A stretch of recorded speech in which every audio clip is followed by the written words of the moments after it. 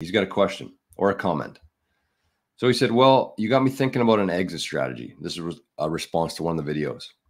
I think I'm going to wait till the Ethereum ETF launches, pray in caps, pray the price spikes, and then dump it all and buy more Bitcoin.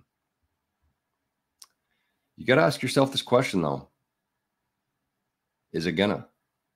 Will the ETF even be approved? Is it gonna launch? I don't know. Was anybody gonna give a shit? That's why I say, like, this is my this is my thesis on this. If you have Ethereum, if you have Dogecoin, if you have any altcoins that you're waiting to swap, if you're selling them for cash, if you need to pay off your loan, pay off a car loan, uh, take a trip. If you're selling it for cash, wait. Wait till the price goes up because everything's going to follow Bitcoin, whether it has a use case or not, probably this cycle. So just wait because you're trading it for fiat. You're selling or you're paying your debt, you're buying a trip. Wait for that. But if you're exchanging it for Bitcoin, do it today.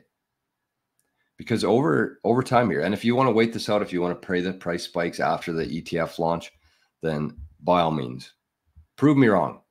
Take the price of Bitcoin and Ethereum today, wait and see if you can be- get a better trade than today. But I don't think you will. And if you do, you're going to be spending way too much time looking at the prices. We don't need to be watching prices of these shit coins to be trying to make some money. Just swap it for a Bitcoin. You're going to get more sats today than you would get in the future because everything's going to continue to go down against Bitcoin, including Ethereum. So that's what I would say. It wasn't really a question, but that's just my two cents on it is that if you're trading it for fiat, wait. If you're trading it for Bitcoin, do it today. Don't wait because we have no idea what Bitcoin's going to do. There's predictions, there's experts online. Nobody knows though. It could 50x and everything else could just stay where it is. Like we have no idea what's going to happen here.